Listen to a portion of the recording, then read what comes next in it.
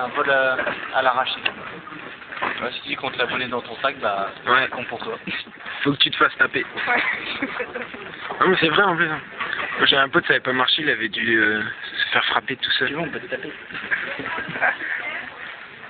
Au pilot.